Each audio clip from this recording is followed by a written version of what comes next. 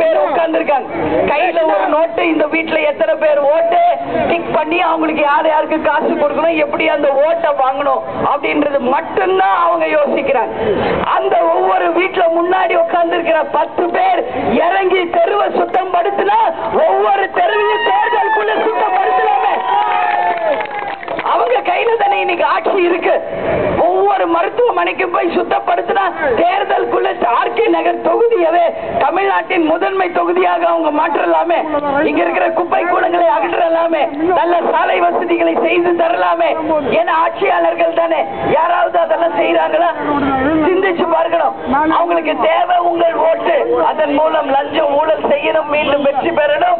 இருக்கிற கட்சியிலே எங்க கட்சி தான் பலமான கட்சி என்று பொய்யாக மக்கள் கிட்ட விளம்பரப்படுத்தணும். இந்த தவிர அவங்களுக்கு வேற எந்த எண்ணமும் கிடையாது. இதுதான் உண்மை.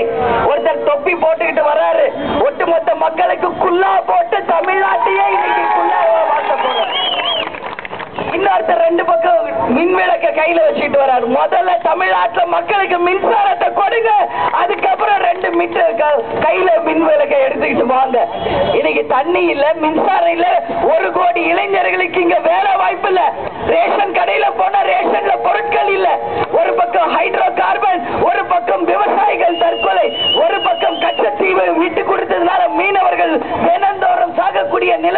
இதுதான் இன்னைக்கு தமிழ்நாடு. இந்த தமிழ்நாடு நமக்கு